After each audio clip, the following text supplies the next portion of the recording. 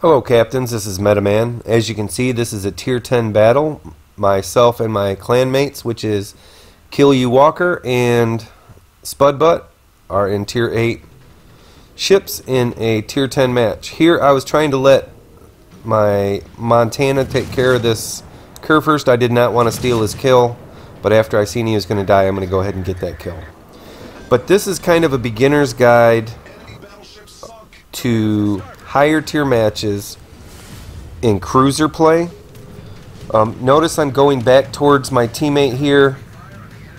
I'm going to be helping with the airplanes. I'm going to get lucky and get the extra kills from the airplanes. Um, but I'm trying to support my clanmate here.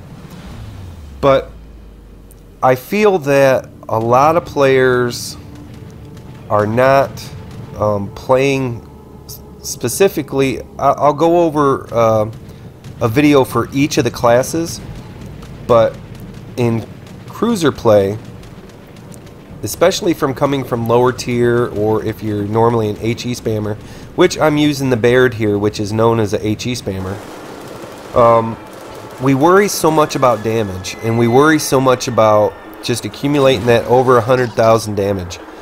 I'm wanting to show you in this match, watch how little damage I do and where I'm at on the XP board, and it's not even close. I did get that kill from that Kurfürst, which is a tier 10. Very little damage on him, but pay attention to my planes, pay attention to my kills, pay attention to my caps. In cruiser play, if you're talking to a battleship player, he wants you to, to clear the board of the DDs. He wants you to be his eyes in front of him. Um, DD is better for that uh, position, but after you isolate and you see there's only a few ships left on a side, I'm going to be moving up on DDs. Here I know the DD's in here. I'm going to be running his smoke. I know he's right in front of me. There wasn't even a reason for hydro. There's no way he's going to run away. He has to fire. There's nothing he can do about it. But watch. I'm not getting a ton of damage off this. I threw out that preemptive torp, knew where he had to go. He was either going to turn go the other way or go this way. And if he went this way, he was going to eat a torp. He ate a torp. I ate one of his torps. But when you're specifically starting at tier 8, tier 8 begins high level play. And I'm not talking just high level skill play, I'm talking the game changes. People have more heals, people have more HP. Tier 9 and 10, you have awesome firepower. So you can be deleted really fast, and it's really easy to get caught up playing a cruiser, as in playing defensive and just trying to farm, or playing defensive and playing too safe and not supporting your team. And then your battleships are mad at you because you didn't help kill the DDs. So at tier 8, it really gets important to weigh your odds, weigh what you're going to do, as in you want to support your team, but you don't want to, you're a glass cannon compared to tier 10s. So you want to do what you can do, but stay alive. Um, and watch the XP at the end of the game, what I get for these DDs. Um, as a cruiser, your main goal is DDs. It is not battleships. It is not farming 100, 150, 200,000 damage off those battleships. It looks nice in the replay, but a lot of times you don't even lead the XP board. I want you to, once again, pay attention to my damage at the end of the game.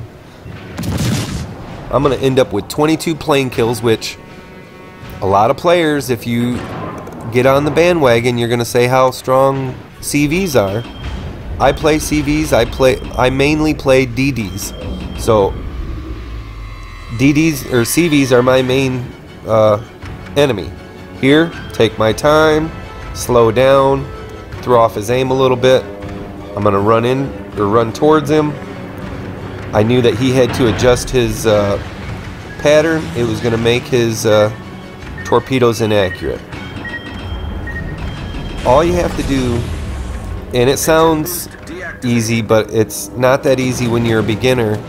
Is slow down and think about the things you're doing. Now, I like this part of the game, as in, watch, I'm having uh, torpedoes coming from behind me, and I'm fighting a DD in front of me.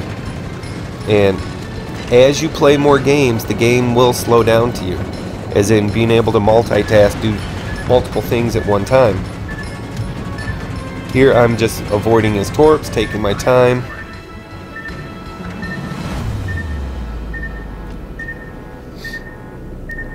But you have to support your team. If you sit in the back and you just do damage, it might look nice with that 100,000, but pay attention to that XP board in the game and then you're wondering why you have 100,000 damage, but you're in the bottom third of the XP.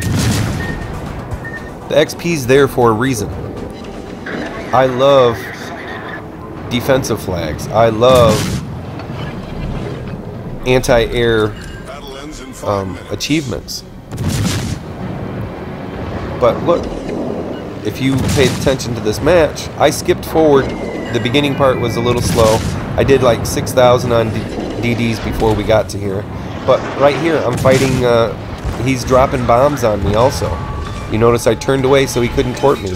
But I was having to turn away because the bombs were coming down. So I wanted to tee out, um, show an angle to when he was dropping bombs. But it's a tough job. We want to be able to do a little bit in between of doing our damage, killing the DDs. That's our main purpose as a, a tier 8 cruiser, especially when you're at the bottom tier. Maybe if you're a, a Prinz Eugen, you have that great Hydro, but your main job is kill DDs, and you can fight other cruisers pretty well because of your um, your heals and your armor. But that's what your job is. But if you look here, I'm going to end up with 22 plane kills, which everyone says how tough CVs are. They didn't look challenging me, did they? Uh, I changed my angles. I didn't give them good position to hit me. I ended up with three kills, two of them DDs. And watch where I end up on the XP board. This happens quite often, and I do it the same way in my Atago. I love those ships. Watch where I am on the XP board.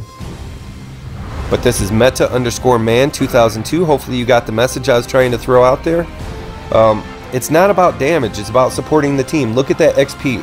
I crushed it on XP compared to the rest of the team. So this is meta underscore man 2002. Please subscribe if you haven't already. If you like the tips, you guys have a great day.